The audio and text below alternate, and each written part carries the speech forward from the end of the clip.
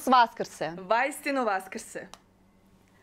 Pozdravljamo vas najradosnijim pozdravom na ovaj najveći hrišćanski praznik. Pratite naš srpski svijet koji je posvećen Vaskrsenju gospoda Isusa Hrista. Ostanite uz nas jer vas čeka i bogat kulturno-umjetnički program. Još jednom vas pozdravljamo velikim hrišćanskim pozdravom Hristos Vaskrse! Vajstinu Vaskrse! Na uskrs sam se rodila džanu, na uskrs sam se rodila more na Đurđev dan se krstila, more na Đurđev dan se krstila. Mene je majka rodila džanu, mene je majka rodila mlekom do ila more rujnime vinom pojila. Zato sam tanka, visoka džanum, zato sam tanka, visoka more, zato me zovu džur. Džija more, zato me zovu džurđija. Zato sam bela rumena džanum, zato sam bela rumena more, zato me zovu džur. Džija more, zato me zovu džurđija. Hristos Vaskrse, Vajstinu Vaskrse. Srećan i blagoslaven Vaskrs svim gledaocima nacionalne In4 televizije.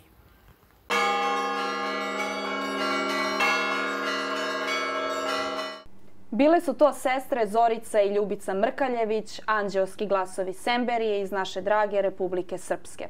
Ja se nadam da su gledaoci In4S televizije uživali baš kao i mi. Za Vaskrs se kaže da je to najveći i najradosniji hrišćanski praznik. On je veličanstven i specifičan sam po sebi jer je smrt poražena, a život je pobedio. Naš današnji gost je absolvent teologije i člana kapela sastava Srpski pravoslavni pojci Nemanja Perkučin. Pomaže Bog i da vas pozdravim najradosnijim hrišćanskim pozdravom Hristos Voskrese. Vajstinu Voskrese. Nemanja, hvala vam što ste se odazvali da na ovako veliki praznik budete upravo gost naše emisije Srpski svijet. Hvala vama na pozivu. Pa evo za sam početak bih vas pitala, obzirom da ste absolvent teologije, koje poruke po vama nosi Vaskrs? Pa, Vaskrs je jedan od najtemeljnijih i najbitnijih hrišćanskih praznika. Trudit ću se da vam odgovorim onako malo laičkim jezikom, da bi razumeli i vi i naši gledalci. Vaskrs nosi u sebi poruku slobode slobode od forme, norme, logike i nasledstva tog starog čoveka. Tog palog čoveka koji je izgubio jednu svoju, ajde kažemo, a, sliku koje treba da teži. U datom istorijskom trenutku, vremenu konkretno, projavljuje se bogočovek Hristos svojim delima, rečima, učenjem, preobražava svet. Biva uhapšen, prebijen, mučen, razapet, sahranjen u grob i trećeg dana ustaje iz mrtvih. Vaskrsava. Sad, to je ljudima, kada kažete takvu stvar, senzacija. Nešto neracionalno, ali prosto a, pobeđena je e, ljudska logika pobeđeno je pitanje beznađa i besmišlja. Vi vidite da u tom događaju uh, nastaje temelj novog sveta, nastaje novi čovek. Prosto, reklo bi se, stvara se novi savez Boga sa ljudima stari čovek umire, odnosno umire njegova logika, njegovo svatanje sveta kao jednog mučnog, besmislenog. Jer znate, u tim vremenima čovek je živeo onako jednim oskudnim životom. Ili si rob, ili si sluga po volji gospodara i hitro mogu te da, ubi, da te ubije kad god je želeo. I sad vi vidite takvog čoveka koji ne vidi smisao svog postojanja. Došao je do svog vrhunca. On nije mu više potrebu da egzistira. Tada se projavljuje bogočovek Hristos i počinje, rekao bih, jednu revoluciju. Možda je to ovako oštar, oštar izraz, ali revoluciju čoveka iznutra. Vidite, pobedio je smrt. Tako je. To je pitanje koje je mučilo celu civilizaciju i celo istorijski rod ljudski se borio sa tim problemom, sa tim pitanjem. Kako? Šta? Šta sad? Rodili smo se i kao to je poenta svega. Umrećemo i to je izvesno. Samim tim takve su nam i dela i e, osmišljavanje života i poimanje istoga. Elem, taj preobražaj koji se odigrao pre 2000 godina promenio je svet ta punoća koje mi težimo, odnosno to, je, to je jednom beskonačnosti, odnosno večnosti. Znate, za Boga se ne vezuje vreme. Vreme je ljudska kategorija, a Bog je večno biće. On obitava u večnosti. Na to je odgovorio patrijar Pavle jako lepo, rekavši o vremenu da je sadašnjost večita budućnost da prošlosti nema, budućnost je tek doći. Tako da imamo ovaj trenutak u vremenu. Što znači da mi moramo danas da se trudimo, moramo danas da budemo prisutni u tome, jer ono što se desilo nema, ono što će doći još se nije odigralo. Tako da ta poruka Vaskrsa, slobode, mira, ljubavi, i dan danas je aktuelna, osvežava se, aktualizuje se. Znate, crkva uvek imala u svojoj istoriji ulogu aktualizacije biblijskih tekstova, odnosno nasleđa, crkvenog nasleđa. Jer ta muka čoveka da svati svet sad kao mm, kao nešto što je prolazno je uvek pitanje, uvek borba za svako novo biće, za svakog novog pojedinca. Znate, svaki čovek se bavi problemom a, smrti, bavi problemom greha. To je uvek jedna aktuelna tema. Ali taj temelj Vaskrsa, Sveti Jovan Damaskin ga je nazvao praznik nad praznicima. Je postao temelj i pečat hrišćanske crkve na, iz koga mi dan danas crpimo izvor, crpimo svoj smisao bivstvovanja a, i porodio život koji traje i koji će trajati do svršetka veka. Nemanja, nadovezala bih se na vašu priču, obzirom da eto, današnji praznik Hristovog vaskrsenja, svemu tome prethodi jedan veliki časni post koji je trajao sedam nedelja. Pa eto, po vašem mišljenju, šta je svrha posta i koliko savremeni čovek uopšte može da se spremi da kroz post, molitvu, pričašće i pokajanje, da se približi Bogu i tako da se duhovno uzdigne? Pa, čovek je biće pokreta. I velika je varka a, da misli da će ostati u jednom stanju kakvom jeste. Prosto ili napreduješ ili nazaduješ. Nema konstantne. A, časni post je jedna velika priprema za razumevanje te tajne vaskrsenja.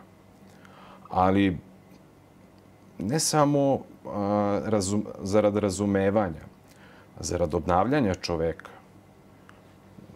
Oci crkve nas uče, to je kao sada kada uzmeš I sad ti jednom godišnje možda opereš košulju svoju. Kakva će biti, a nosiš je stalno. Uprljaće se. Takva je i ljudska duša. Ona mora da... Mi moramo da radimo na sebi. Ili ćemo biti napredni ili ćemo nazadovati. Nema tu sa nekog statičnog stanja. Kao što sam rekao, Elem ima jedna jako dobra i korisna priča koja bi mogla eto, da potkrepi Može. a, to pitanje smisla posta i pripreme za pričešće.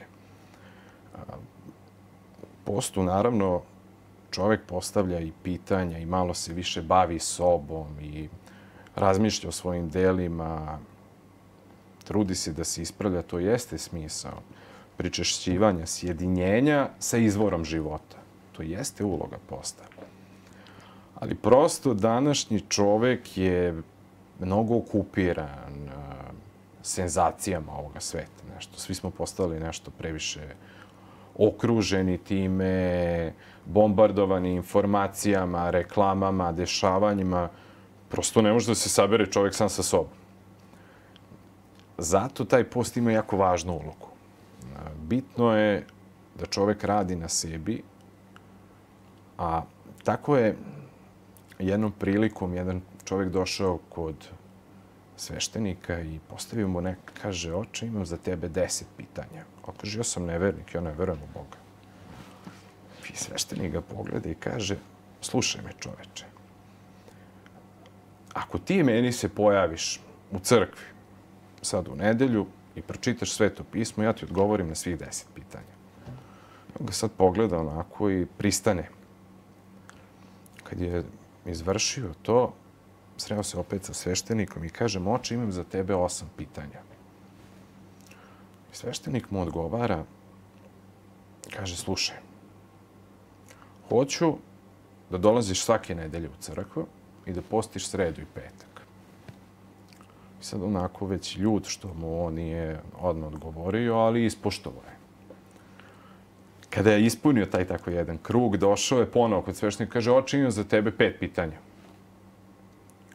I sveštenik mu odgovara i kaže, slušaj, ispošti, ispostiš ti ceo vaskršnji post, božićni post, dođeš u crkvu, pričešćuješ se, kaže, ja ti odgovorim na svih pet pitanja. Kada je on prošao taj jedan godišnji crkveni bogoslužbeni krug sa svojim pravilima, došao je kod njega i rekao, oče, imam jedno pitanje. Šta je naravučenije priče? Biti direktan učesnik i posmatrač je velika razlika.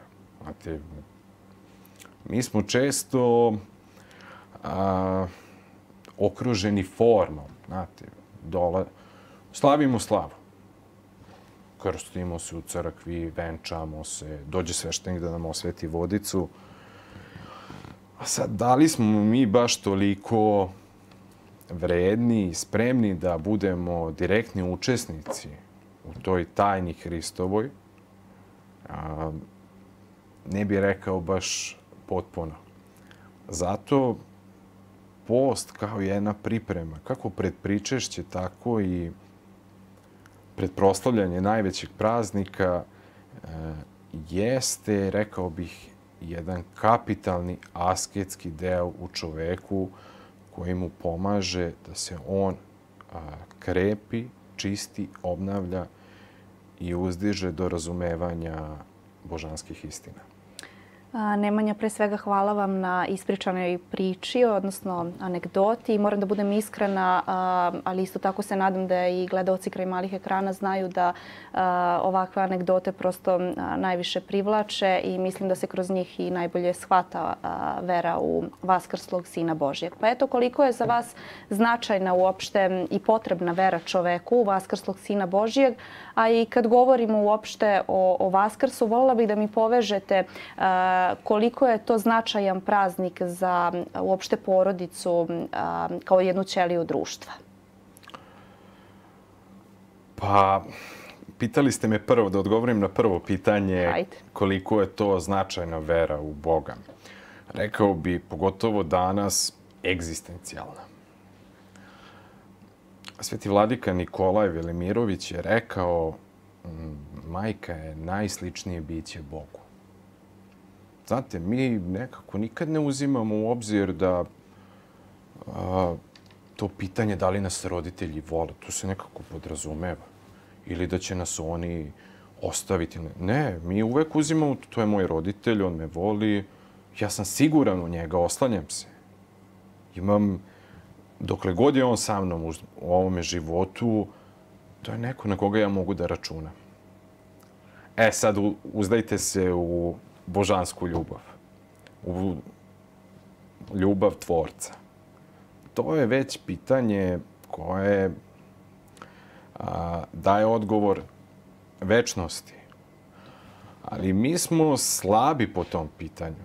Znate, čovek je zapao u jednu situaciju ne tako, ajde da kažem, neizlazno. Rekao sam da je čovjek biće podviga. Ali u ovoj istorijskoj ljudskoj drami koja se odvija oko nas, večito je pitanje a, bo, a, borbe straha od smrti, pitanje greha u čoveku. Znate, greh po svojoj definiciji je promašen cilj, promašen smisao. A, tako da, kada kod čoveka nastupi strah od smrti, nestaje strah od greha. I to je taj jedan paradoks u kome čovek najčešće zapada i teško se izlači. A u čitavoj ovoj istorijskoj sudbini, drami ovoga sveta, a poenta je da se on uzdigne iznad toga. A, jer besmisao nema egzistenciju. Niti čovek može da obitava u svetu kako hoće, jer prosto nedela vode u smrt. To je vrlo jednostavna stvar. Mi vidimo danas situaciju svetske epidemije, krize. Ljudi su u velikom strahu, panici za ljudskim životom. I prosto vi vidite i neveru. Neka mi nek, niko ne zameri, ali a, znate, čovjek se oslanja na čoveka, na jedno prolazno, smrtno biće i sad, gde ti je tu spas? Pa nema ga nigde. Šta? Ja ću pomoći tebi i ti ćeš uh, pomoći drugome. To jeste hrišćanski ideal. To jeste ideal. Ali mi se vezujemo za ideal večnosti, savršenstva. A ne za jednog čoveka propalog, smrtnog. Mislim, glupo je reći, ali mi smo neko u koga će pojesti crvi. Tako je. Znate, sad u toj logici mi se borimo da sačuvamo život, da, a, da se sačuvamo od svih nedaća, a, a gubimo ga. Zaboravljamo da živimo. A, radost je veća, ljubav je veća kada se umnožava. Jedino je se ona tad umnožava to pitanje imati poverenje u Boga i verovati u Boga, rekao bi da je jedno krucijalno pitanje, čak i presudno u svakom ljudskom životu. Jer vi kada se oslonite, znate, svako od nas u životu je imao neki problem. I onda misliš kako ćeš da rešiš ovo, kako ćeš ono, ko će da ti pomogne. I onda kad dođeš i tako i iscrpiš sve svoje ideje, na kraju ti dođeš i kao daj Bože, pomozi već. Tako I tek kad se ti prepustiš, stvarno dođe do tog rešenja. Stvarno se nameste neke prilike, ali bitno je ono u sebi da ostavimo sa strane, da se malo uzdamo u nešto, u ne, u, se prosto uzdamo u živoga Boga. Jer slabi smo, padamo i to nije problem. To je sve deo ljudske prirode. Deo učenja prosto škola je, život je jedno veliko učilište. Nije problem pasti, ali nemoj se valjati. A, to jeste i uloga i posta, jeste uloga i crkve a, da nas poziva, da budemo budni, da se uspravimo, da hodimo pravo, da vodimo jedan smisleni život. Na ovoj vašoj fotograf, a, fresci prikazano je vaskrsenja Adama i Eve. Hristos je položio svoj život kao zalog za novog čoveka. On podiže i obnavlja Adama i Evu, odnosno obnavlja ljudsku prirodu. Ali traži od nas učešće. Bitno je raditi. Bitno je biti, pomerati se, delati, jer vera bez dela je mrtva.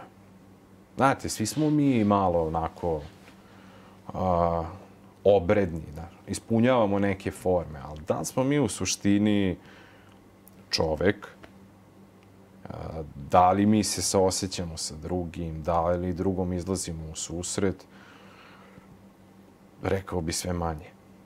Pa to je verovatno ona rečenica našeg blaženopočivšeg patrijarha Pavla, budimo ljudi. Upravo. To nije laka stvar, ali bitna je. A, Znate, vi Boga van svog srca nećete naći.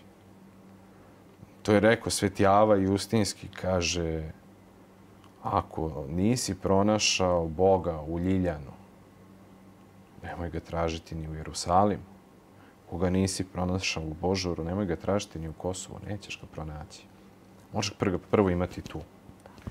A, a najlakše ćeš spoznati Boga kroz čoveka kroz prijatelja koji će ti pružiti ruku, pomoći. Pogotovo u ovoj danas situaciji, svi su izbezumljeni. Strah je nadladao logiku, već malte ne. Strah da sačuvamo nešto što je izvesno da će da prođe. U obliku kako mi poznajemo. I sad, perspektiv, pogled jednog hrišćanina na takvu sliku, malo je absurdna. Će... Kakav je Vaskrs Nemanja u vašoj porodici? Pa Vaskrs u porodici, kako mojoj, tako verujem i svih naših Srba, kako u Matici, tako i Rasejanju, je jedan radostan praznik koji nas okuplja, drži. A, vi, eto, ispred vas imate farbanje jaja i svaku našu detinjstvu se seća, to je, bilo, to je bio događaj. Sad, a, vidite radost. Znate, porodica je, kako jedna slika male crkve. Ali isto tako i slika, prvo, prva slika sveta. Mi prvog muškarca koga upoznamo, upoznamo kroz oca. Prvu ženu kroz majka, prvog druga kroz brata. I sve što u našem domu steknemo nam je jedan zalog za ceo život. Tako da jako je bitno iz, prenošenje te slike i tog, ajde da kažemo, folklora, maltene i crkvenog. Ali svaki hrišćanin, znate, on želi da u svom domu napravi jedan mali ugođaj, jednu malu crkvu i da približi to jedno stanje mira, blagodarnosti, zahvalnosti koje on osjeća i u svom domu.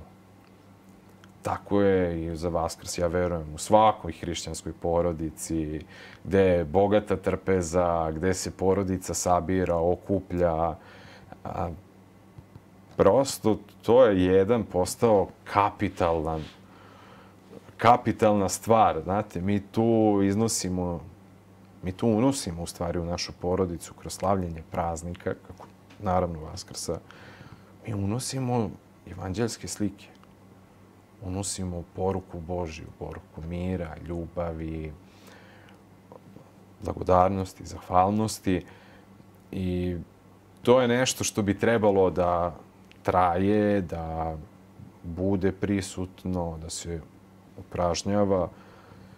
Pogotovo danas kad je porodica eto, toliko, nažalost, izazvana, izbombardovana raznim glupostima, zat, rekao bi malo zatrovana. Znate, porodica je jedan stup društva. Ona jeste, rekao sam, i mala crkva. Tako, porodica nastrada. Neće opstati ni društvo, ni država, ni... Mogu da prave oblike kakve hoće društva. Ne možete imati egzistenciju. Znate, u psihologiji kažu sin najčešće bira suprugu sprem lika majke, a čerka sprem lika oca. Ako mi izgubimo te slike, mi ćemo danas a već smo dobili to pitanje da se bavimo istopolnim zajednicama ili tako nekim devijantima društva, ma da, ajde, to je jedan talas uzbruke, uzburkanja, proći će. Ni, oni nisu deo, nisu deo sadržaja. Kako, ne znam kako to da vam objasnim. To je ono što sam rekao. Sve što nema smisla, ma nema egzistenciju. Tako da pitanje proslavljanja Vaskrsa kao najradosnijeg praznika i svih drugih hrišćanskih praznika jeste bitno za nas. Bitno je da budemo ti živi učesnici u toj tajni sveopšteg spasenja roda ljudskog. Nemanje, ja se vama najlepše zahvaljujem na ovakvom razgovoru i nadam se da su gledaoci naše nacionalne in 4S televizije uživali u ovakvoj besedi. Mi se sada slikom i tonom selimo u naš veliki studio, čiji je domaćin Mihajla. Mihajla, kako si nam iznenađenje pripremila? Moje iznenađenje je čarobna frula. A gdje je čarobna frula, tu je i Neda Nikolić. Nedo, dobrodošla, Hristos Vaskrse. Bolje vas našla, Vajstinu Vaskrse. Reci mi, kako se u tvom domu proslavlja ovaj veliki hrišćanski praznik? Pa prvenstveno svakako uz muziku, kao i svaki praznik u mojoj kući. Ovaj, s obzirom da moj tata pomalo svira harmoniku i ja frulu, tako da već imamo jedan savršen duo za bilo koji praznik. Pa skupimo se svi s obzirom da smo sestra i ja stalno van kuće. Naravno kad su veliki praznici kao što je Vaskrs, skupimo se za, za, za trpezom i eto taj dan smo prosto vezani za, za kuću, nigde ne idemo, gledamo lepe vaskršnje emisije sa lepom muzikom, odmaramo ovaj, koliko možemo, bar to neko kraće vreme i u principu sve tako u nekom mirnom duhu. Pored frulije, da li zasviraš još nešto? Pa inače sviram pomalo i flautu, saksofon, kavali gajde, ali to je prosto nekad u nekim a, baš specifičnim okolnostima, kad, dakle kad sprijam za neki nastup ili za neki koncert nešto, ali od frule se ne odvojam, tako da frula mi je prva ljubav i glavni instrument. Reci mi gdje publika može da te sluša ovih dana s obzirom na ovu epidemiološku situaciju. Vjerujem da je malo teže, ali da li uspevaš nešto da organizuješ? Pa jeste, nažalost, to već neko duže vrijeme, ajde da kažem, ništa se ne dešava konkretno i mislim da smo svi, mi bar muzičari, ovaj željni scene i nastupa i koncerata i svega. Tako da tim povodom, uz naravno poštovanje svih mera, 20. maja na sceni Kolarčeve zadužbine u Velikoj dvorani održat ću solistički koncert. I ove godine baš nekako pao taj jubilej da je to 10 godina mog postojanja na sceni. Tako da se izuzetno radujem. Ovaj, biće neki divni gosti kao što su Aleksandra Safronijević, Slobodan Trkulja i još neki moje kolege i prijatelji. Um, karte možete kupiti na biletarnici Kolarčeve zadužbine, pozvani ste svi naravno i eto, radujem se, radujem se toj večeri i naravno cijeloj godini s obzirom da imamo neku baš onako pozitivan stav da će se nešto lijepo desiti ove godine. Verujem da hoće cijela ekipa ti čestita tvoj jubilej i uspjeh. O tebi svakako ne mora puno da se priča, ti najbolje govoriš svojom frulom, tako da ću te zamoliti da nam uveličaš ovaj praznik nekom svojom pesmom. Naravno, hvala vam.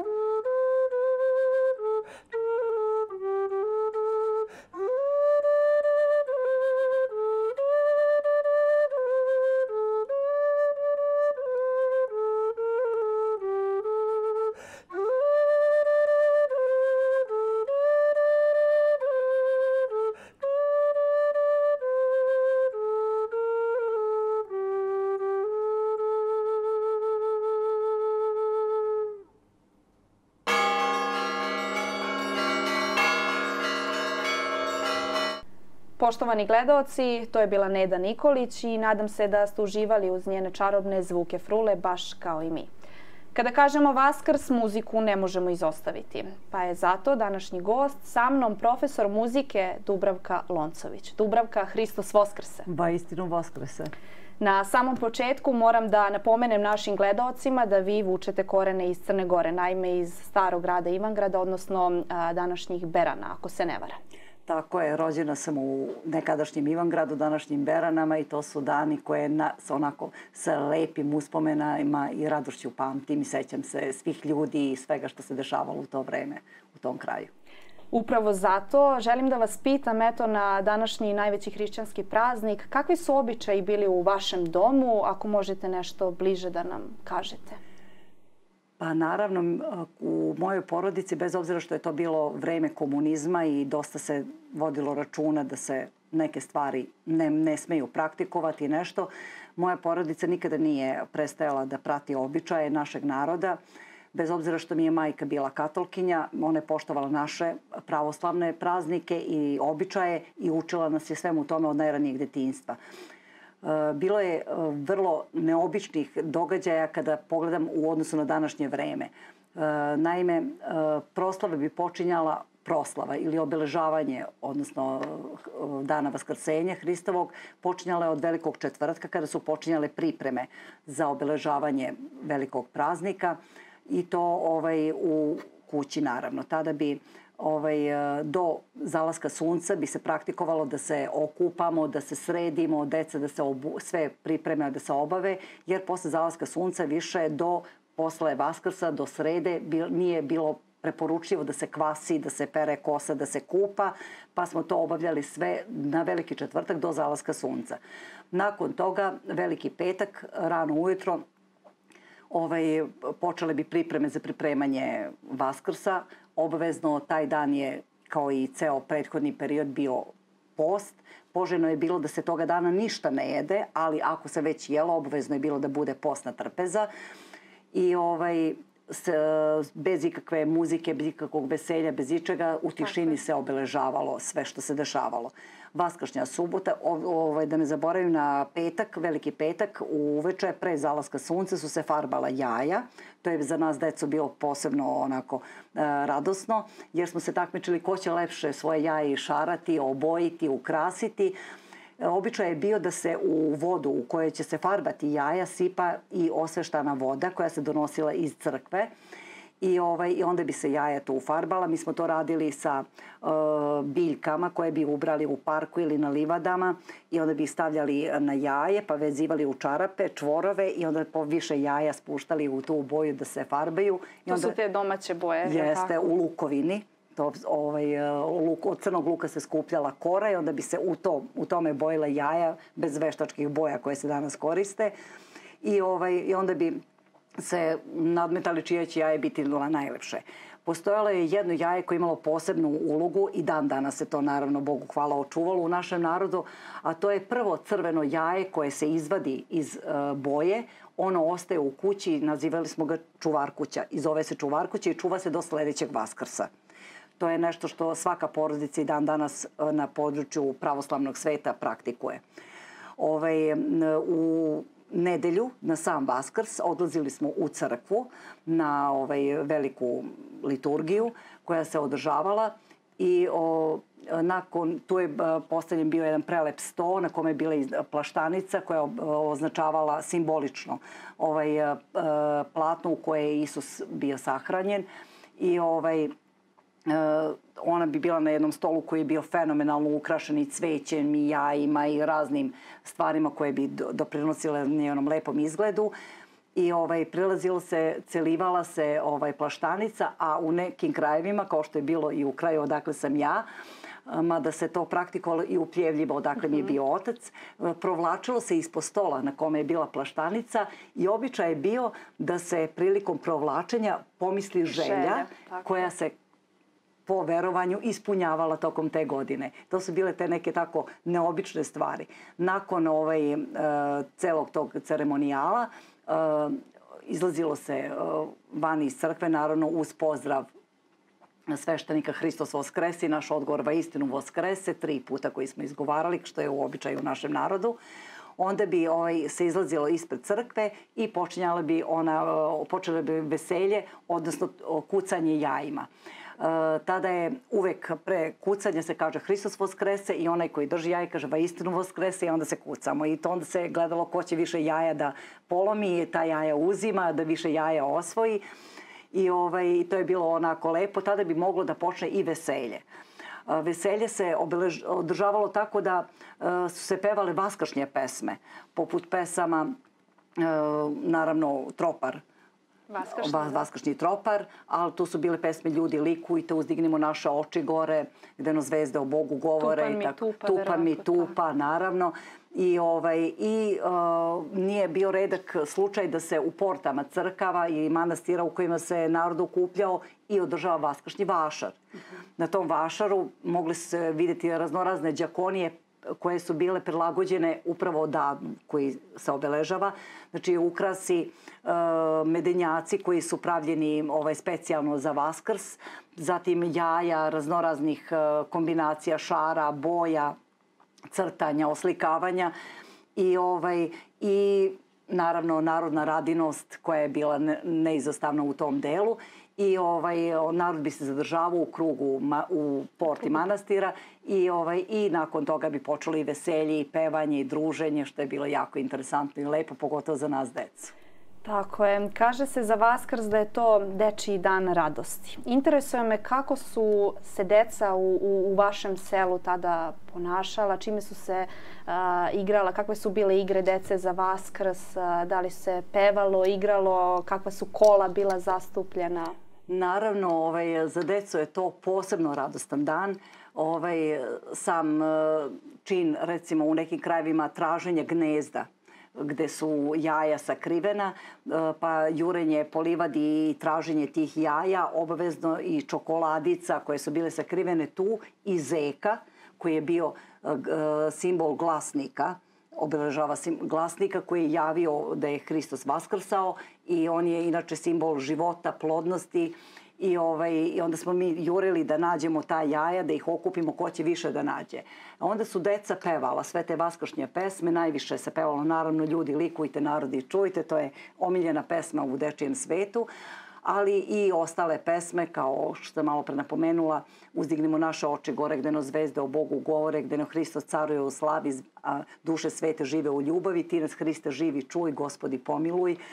Zatim ovaj, deca su igrala raznorazne igre, što je danas uh, skoro zaboravljeno.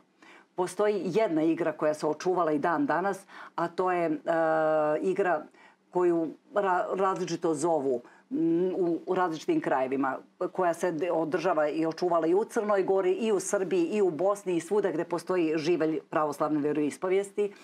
Ovaj, to je, e, e, neko zove đavo s neba, neko zove kuc kuc. E, to je igra gde jedno dete pri, prilazi svoj deci koja stoje u krugu i na uvu im šapne jednu boju.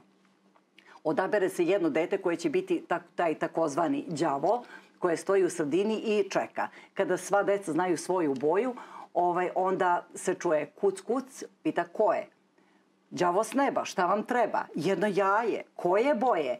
I on kaže recimo na primer žute. Ako postoji dete koje ima tu boju, ono počne da beži, a dete koje đavo ga juri da ga uhvati i tako se igra, da igra sve dok se sva deca ne uhvate. I onda se menjaju igrači i ostalo. Postoji još jedna, ovaj, uh, jedan običaj koji su deca sprovodila, a danas je prilično zaboravljen i redko gde se može vidjeti, to je uh, takozvano kotrljanje. Mm -hmm. uh, kotrljanje jaja niz padinu, niz travu, niz livadu, gde kotrljanje jaja označava simbolično kamenje kojima je bila zatvorena grobnica u kojoj je Hrist sahranjen i jedna deca puštaju jaje da se kotrljaju, a druga deca ih dole hvataju da se ne bi polomila, zagubila. Ovaj, to je jako lepa jedna igrica I, ovaj, I naravno odlazak od kuće do kuće, od vrata do vrata sa Hristos Voskrese i pevanje pesama vaskršnjih da bi se dobili slatkiši i jaja, što je bilo onako za nas deca posebno zanimljivo i, i dopadljivo. Pa da, i slatkiši i jaja, obzirom da je svemu tome prethodio veliki, odnosno časni post da. koji je trajao sedam nedelja, tako da i verujem da, da svima nama uh, je nedostajalo upravo za, za vaskrsta, vaskršnja trpeza. Sama Vaskršnja trpeza je bila nešto što je specifično bilo, kao što je Božićna bila svečana na jedan poseban način, tako i Vaskršnja bila podjednako svečana, ako ne i svečanija i lepša. Ovaj, e, tu se e, spremale su se razne, razna jela, razne džakonije, razne pogače, e, jaja obavezno na trpezi i ostalo što je bilo ali ovaj je postojala jedna obaveza, to su jako vodili računa, ukoliko Vaskar spada pre Đurđevdana, mm -hmm. na trpezi nije bilo jagnjetine. Ovaj, tako je neko verovanje u narodu da jagnje ne treba ovaj, koristiti ovaj, u ishrani pre Đurđevdana. E sad, kako se to dešavalo? E, po povratku iz crkve, posle vaskršnje liturgije, domaćin upali ka, u ovaj, kadionicu, kadionicu i e, osveštava e, članove ili kadi, članove domaćinstva, ali pre toga upali sveću i glasno se govori e, vaskršnji tropar. Ukoliko se ne zna vas, vaskršnji tropar ne, da se peva, onda se glasno govori oče naš. Nakon ovaj, izgovorene molite ili otpevanog tropara, on predaje kadionicu mlađem članu domaćinstva koji ide da kadi celu kuću i kad se to obavi onda sedaju svi za trpezu ili sofru, kako se to zove u našim krajevima.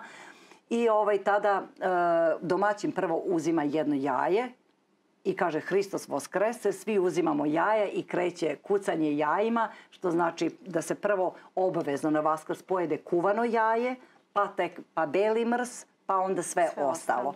Tako da se poštovao taj neki redosled i neki red koji je bio i nakon naravno ovaj e, kucanje jajima i pričašća tog u kući samoj, ovaj, onda se onda bi krenulo to veselje i veselo i pevanje i radost i sve što je nama deci značilo puno.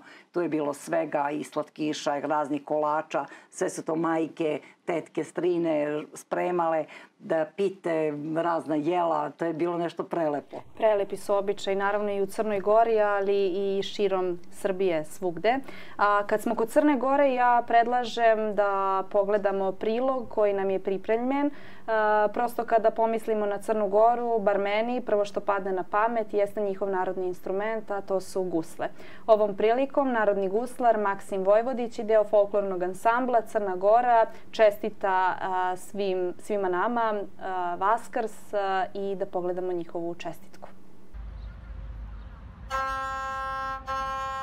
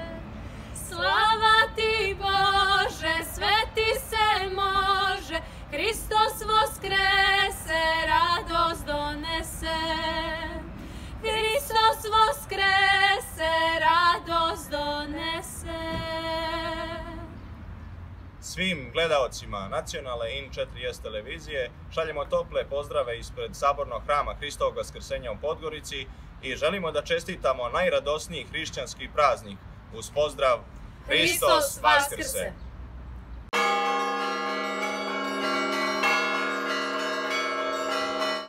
Najlepše se zahvaljujemo Maksimu i svima koji su se pridružili čestitkama za ovaj najveći hrišćanski praznik.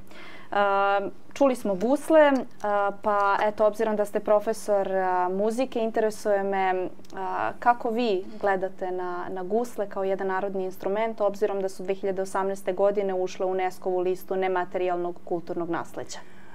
Gusle su jedan instrument koji zaista zaslužuje jednu posebnu pažnju, jedno posebno mesto u našoj kulturi ovog podneblja, ne samo u Crnoj Gori, nego u Srbiji, Bosni i gde god postoji neko ko zna da gusla ili peva uz gusle, kako kažu.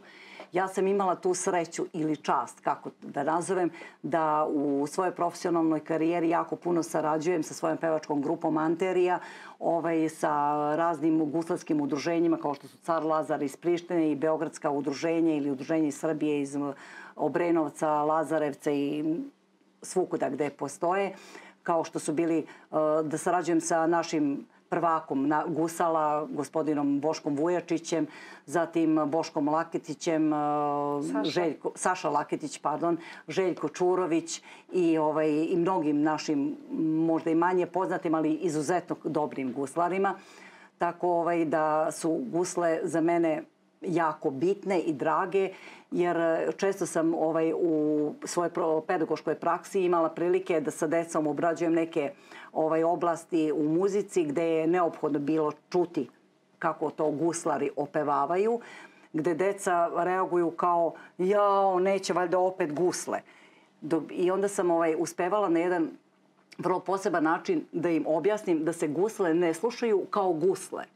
Da on treba da, da sluša tekst koji guslar govori. Jer da nije bilo guslara i tog usmenog pre, predanja, predanja ovaj, mi danas ne bi znali ni 10% naše istorije i svega onoga što se dešavalo narodima na ovim prostorima od pamti veka. Zahvaljujući Guslava mi smo očuvali i tradiciju, i kulturu, i istoriju i izdali iza zgode i nezgode našeg naroda. Tako da deca, kada im objasnim način na koji se to sluša i obrate pažnju na tekst, neretko se dešavalo da im oči zasuze, jer bi shvatili šta se u stvari dešava. Tako da su gusle jedan zaista izuzetan način našeg usmenog kazivanja i predanja. Gusle svakako jesu zlata vredne, a obzirom da smo sada u tom etno pravcu, da li se slažete da pogledamo jednu priču o izradi narodne nošnje koju je pripremila naša koleginica Đurđa Damjanović? Naravno, naravno. Nalazimo se u studiju Opančareve kći i razgovaramo sa Marinom Kaucki, glumicom i čerkom jednog opančara. Zdravo Marina. Zdravo. Reci mi, ovo je tvoj porodični biznis e, kojim si se ti posvetila i na koji način tvoja porodica radi i koliko dugo ovaj brend postoji? Pa što se tiče radionice za narodne nošnje i opanke od koje je sve počelo, to postoji, da kažem, zvanično već 40 godina, ali ovaj, tata je zapravo treća generacija opančara, on je nasledio taj opančarski zanat i on je uveo narodne nošnje da, da radi i taj deo posla. E, poslednjih 5-6 godina, ne znam tačno, sam ja počela malo da miksam, da tako kažem, narodne nošnje sa e, svakodnevnom garderobom, jer meni se to dopalo kao neki način modernog odevanja, tako da taj brend, da tako nazovemo Pančareva kći, postoji proteklih 5-6 godina. Ko je najzaslužniji u vašoj porodici da ovaj brend ipak ostane, s obzirom na to da su e, ovakve vrste zanata izumirale vremenom? Ko je najzaslužniji ko nije želeo da se odrekne ovog zanata porodično? Pa prvenstveno tata, zato što u vreme kada niko nije nosio opanke, niti se bavio folklorom i takvim stvarima, on je i dalje prosto bio uporan i pravio opanke i prodavao svuda, nudio, e, kasnije uveo i narodnu nošnju, tako da ja pretpostavljam da je on najzaslužniji u celoj toj priči i samim tim što je mene i sestru, da kažem, zarazio tim poslom. E, inače, e, radionica je u kući našoj porodičnoj, tako da smo mi rasle sa narodnim nošnjama i opancima, tako da je bilo prosto nemoguće da se ne, za, ne zarazimo svim tim i da ne nastavimo taj posao. Vi ste u jednom momentu bili primorani prosto da izađete iz kuće jer je taj posao postao toliko obiman. E, reci mi kada je e, počelo toliko veliko interesovanje za nošnju? Prosto možeš li da lociraš taj trenutak? Pa, šta znam, pa, na primjer, pre desetak, zapravo i više godina, možda i 15, je krenulo to da bukvalno nismo mogli više tu da stanujemo, jer nekako bilo je, potrebno je bilo mesta za sve te tkalje, vezilje i sve što inače mi e, imamo u toj porodičnoj radionici, tako da, tako, tako pre nekih 15 godina smo se svi iselili odatle. E, koliko ljudi stoji iza ovog brenda? E, ti se predstavljaš u javnosti, ti uglavnom govoriš ispred ovog brenda, a koliko je zapravo ljudi iza ovog naziva? Opančareva kći su zapravo dvoje ljudi plus moja porodica, ali da kažem dvoje ljudi, to smo suprug i ja, kog sam ja sada prosto privolela da radi ovaj posao i on je nekako sa nekim svojim novim idejama došao u celu priču, tako da e, zajedničkim snagama to radimo, nekako volim da radim porodično, što se da primetiti kao što su moji roditelji radili, sad ja tako nastavljam, ali naravno tu stoji moja porodica prvenstveno koja radi narodne nošnje i opanke, bez čije radionice ne bi sve ovo ni uspelo. Koje sve materijale koristite u izradi nošnje? Pa, cijela priča je nastala tako što smo hteli da očuvamo prirodne materijale, tako da su to lan, pamuk, vuna, sve što je apsolutno prirodno. Mi čak sa, sami tkamo materijale, to je isto ljudima zanimljivo jer dosta mlađih generacija ni ne zna šta je tkanje kao jedan stari zanat, tako da sami i pravimo ovaj, na starim drvenim razbojima materijale, tako da sve što je prirodno, to, to dolazi u obzir. E, vama je etnografski muzej odobrio uh, prosto da, da originalno nošnja ovako izgledala. Uh, da li ste imali neki orijentir i koristili neke uh, knjige, kataloge, na koji način ste birali modele? Pa tata imao tu sreću da se on jako dobro sprijateljio sa svim tim ljudima koji rade u muzeju, tako da nisu oni odobrili, oni su prosto pomogli sa svim tim katalozima, knjigama i ostalim stvarima, priručnicima, E, i sa, po nekim savetom da prosto to bude autentično i onako kako treba. Mi ovde vidimo e, zubune, košulje, jeleke, opanke, koji su sve uh, uh, krajevi zastupljeni u uh, naše tradicionalne nošnje? Pa lepota naše nošnje jeste zato što je šarenolika i zato što moj tata u jednom trenutku kada, kada je bilo toliko mnogo posla više je rekao, bože, svako selo ima svoju nošnju, ali to je zapravo jako lepo i apsolutno svaki kraj Srbije ima svoju nošnju i autentičan je po nečemu, tako da eto za nas puno posla. E, da li radite nošnje za kulturno-umetnička društva?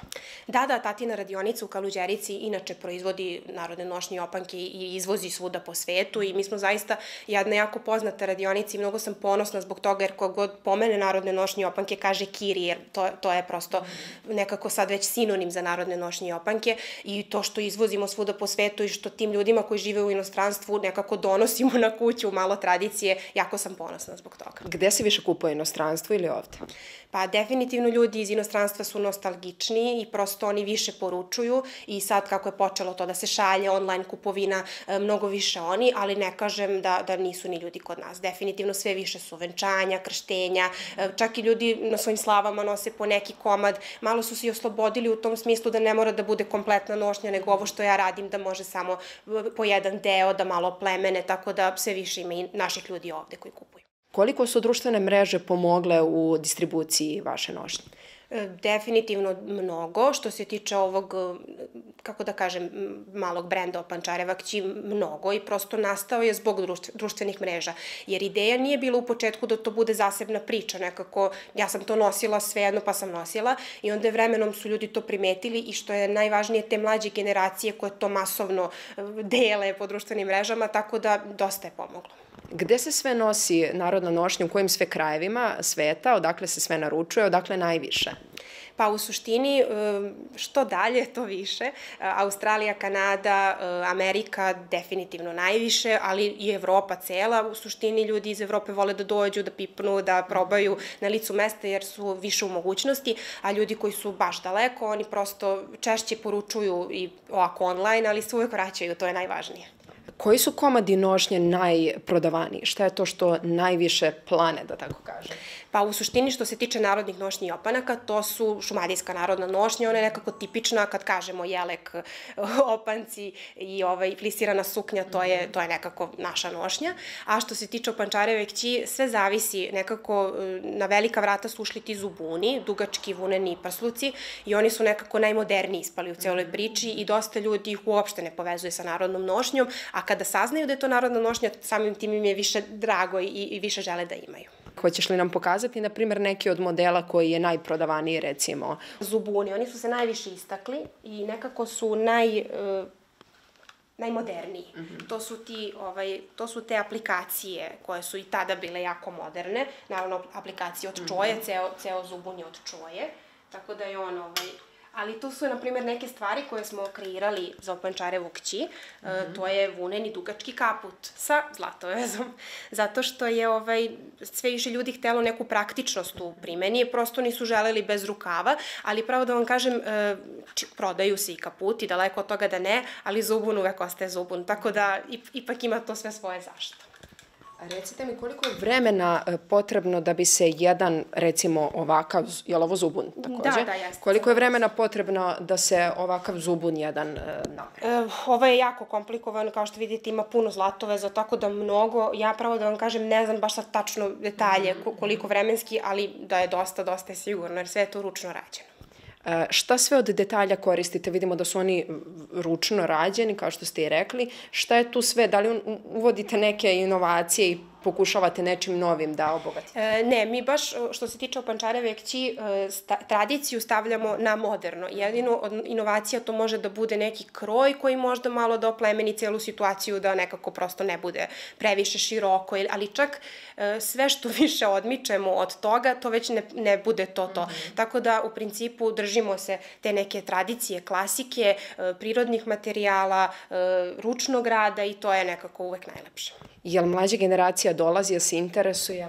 Pa da, to je, to je najlepše od svega, zato što baš upravo tim društvenim mrežama su saznali za sve ovo i dopalo im se i onda su prosto sada postoje devojke koje se stalno vraćaju, kupuju, traže nešto novo, mi nekad i ne postignemo da izbacimo e, ovaj, što se tiče sezone, nešto sada specijalno novo, ali one stalno traže nešto novo jer su navikle na tu brzu modu, a ovo je neka vrsta te sporije mode jer prosto je sve ručno rađeno. E, interesuje me još, e, na društvenim mrežama možemo videti da su različiti povodi, malo pre ste to pomenuli, da čak neke devojčice biraju da na maturu nose e, vaše komade. Vi ste nedavno se i venčali u Narodnoj nošnji. Recite mi koliko je to često da, da neko bira Narodnu nošnju kao izbor za takve prilike? Pa veoma je često. Prosto i mi smo iznenađeni, jako nam je drago zbog toga. S tim što se ljudi onako dosta ograničavaju na, na svoje polje, isto kao što sam ja izabrala okolinu Beograda. Nekako, valjda na kraju se uvek vratimo ono što nam je najbliže srcu i odakle smo, tako da sve češće ljudi, ljudi kupuju. Počnu od toga, želim jelek i haljinu, ali na kraju završe sa celom nošnjom, jer ipak je naša nošnja nešto najlepše. E, I da li naša tradicija ima budućnost? Ja sam ubeđena da ima i mislim da baš ova priča o Pančareve kći to dokazuje. Hvala vam mnogo što ste bili naš gost. Hvala vam.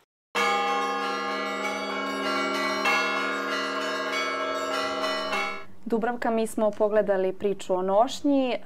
Da li imate još nešto da mi dodate o zanimljivim narodnim običajima koji su vezani za Vaskrs? Naravno, postoji mnogo zanimljivih stvari, ali recimo posebno bih pomenula da se praktikovalo u mom kraju da se na njivi ostavlja jedno slomljeno jaje, vaskršnje koje bi bilo označavalo plodnost zemlje. Stoci se davalo takođe da pojede kuvano jaje, da bi bila zdrava i plodna cele godine i običaj je e, prvi ponedeljak nakon Vaskrsa e, to je takozvani pobusani ponedeljak koji je bio dan u okviru dana Vaskrsa koji je bio posvećen mrtvima i tada bi se odlazilo na grobove svojih članova porodice ili predaka i uzimao se busen zemlje, zelene trave, njime bi se čistio grob, zato se zvao pobusani ponedeljak. Na grob bi se donosila jaja i nešto sa vaskršnje trpeze, ostavljalo se za duše pokojnika, što je bilo jako lepo da u tom danu e, ne zaboravimo i na njih i da se nadamo vaskrsenju i njih i svih nas jednoga dana ko Bog da. Tako je, tako je. Pa upravo sam i na početku emisije navela da je ovim događajem smrt poražena, a život je pobedio. Vama najlepše hvala što ste bili naš gost i što ste izvojili vreme, a mi se slikom i tonom selimo ponovo u veliki studio gde nas čeka domaćica Mihajla. Sa mnom je vokalni solista Nevena Čiplak.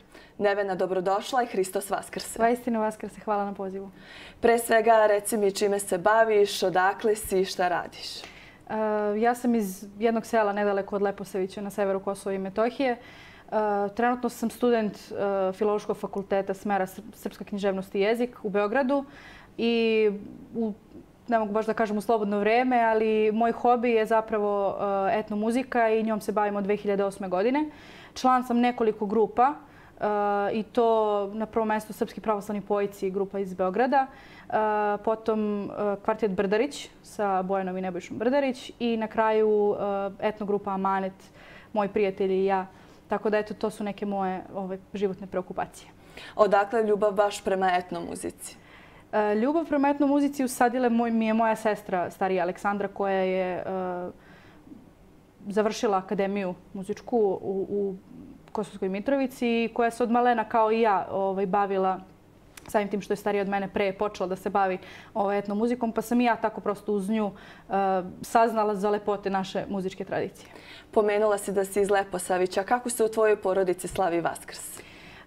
U našoj porodici kao i generalno u svim drugim porodicama eh, na veliki petak farbamo jaja i zajedno se radujemo eh, predstavljećem prazniku. Eh, nema nekih velikih razlika, osim što se kod nas recimo više koriste te neke prirodne boje. Recimo češće se mnogo farbaju jaja u lukovini nego što se koriste ovaj, sintetičke boje, tako da recimo to bi bila eto, možda neka razlika od, od drugih porodica. Hvala Nevena mnogo, još jednom srećan praznik, a sad ću te zamoliti da naše gledalce uveličaš svojom pjesmom i otpevaš nam nešto. Hvala još jednom na pozivu. Hvala tebi.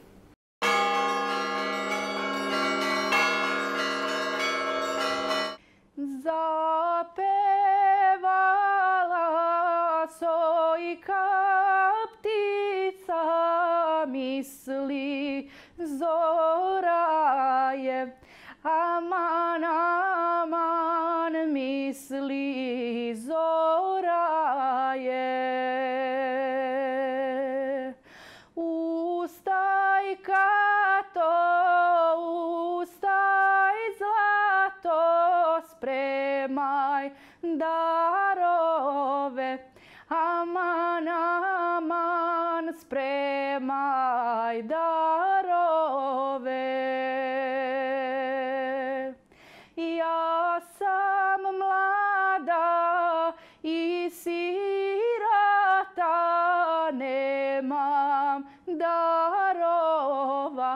Aman, aman, nemam darova. Kad si mlada i sirata, što se udavaš,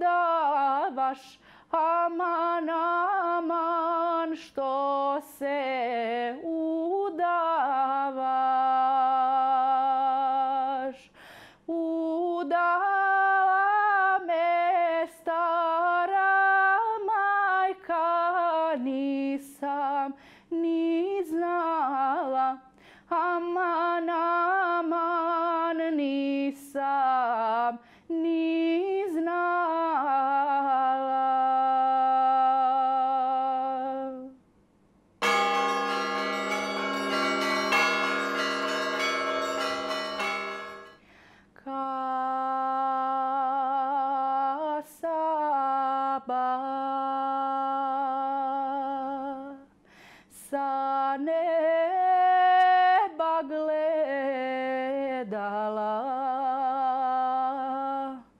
na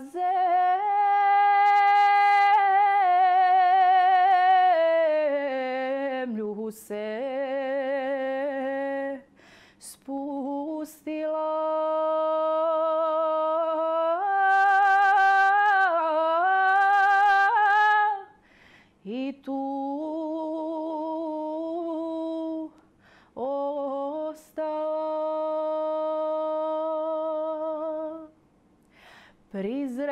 Mlada plakala i bistru reku pitala. Bistrice reko izvorska, gde mi je kuća ljeviška. Bistrice reko izvorska, gde mi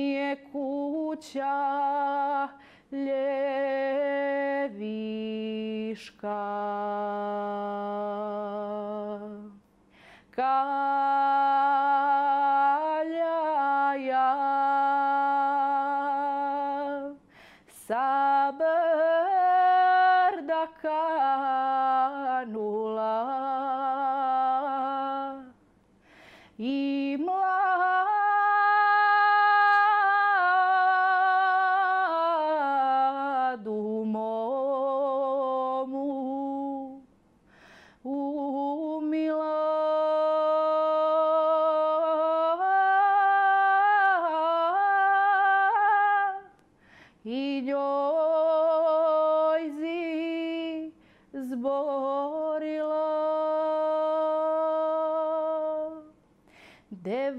chame-la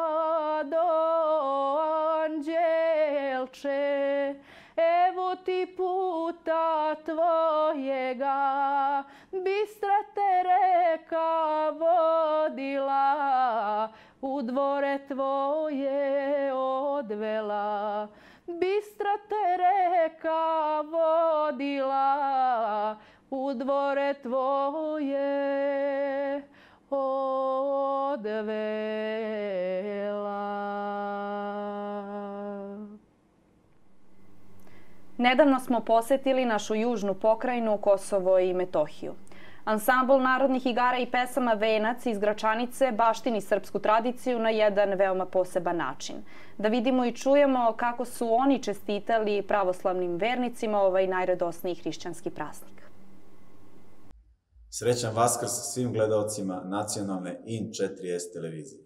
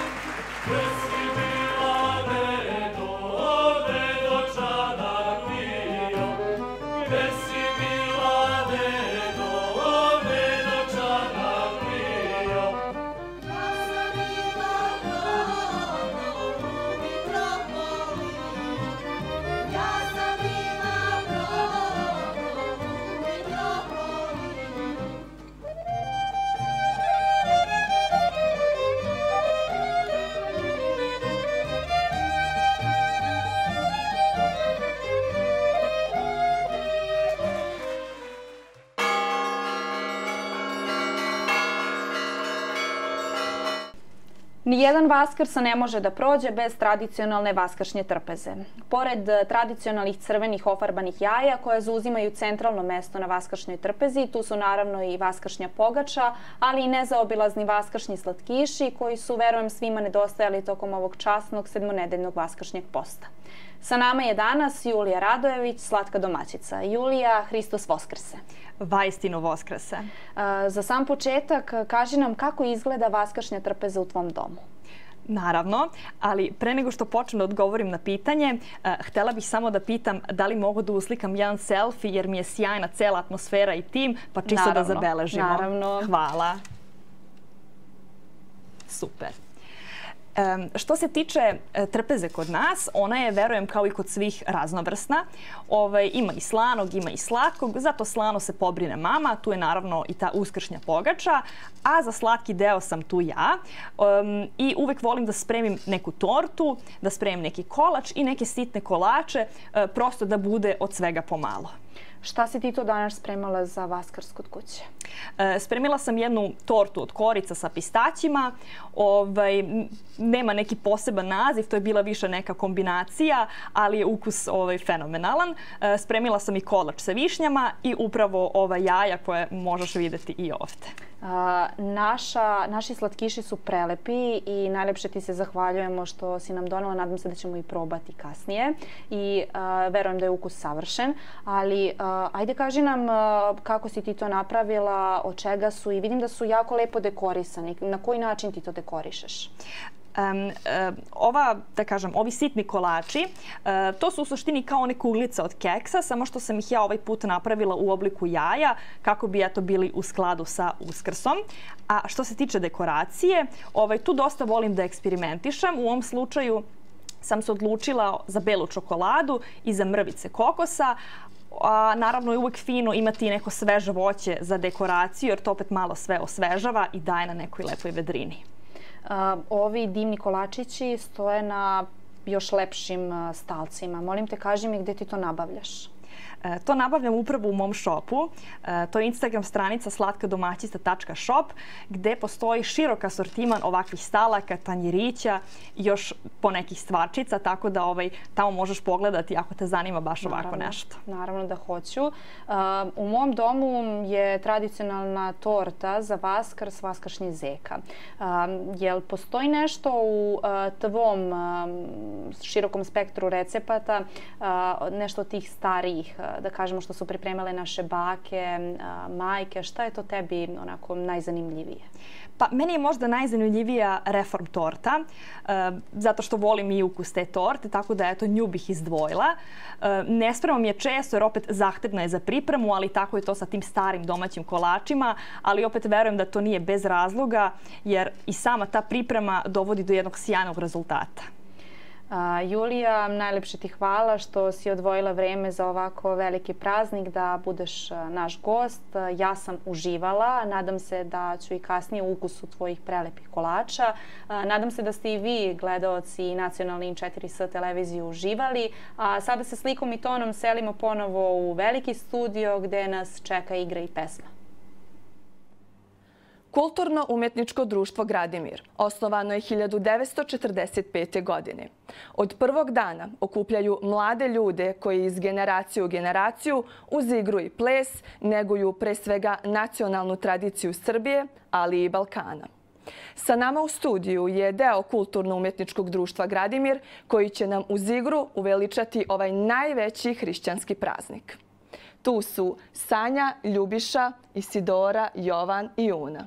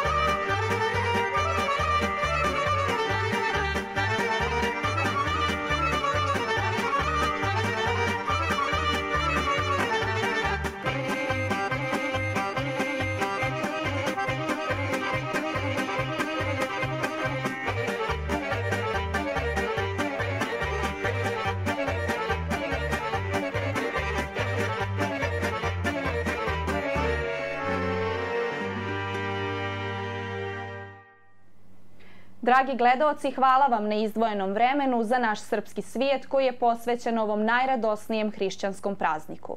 Kako smo počeli, tako i završavamo pesmom. Za vas Aleksa Nedeljković, interpretator duhovne i tradicionalne muzike. Još jednom, uz najradosniji pozdrav čestitamo svim gledaocima in 4S televizije. Hristos Voskrese!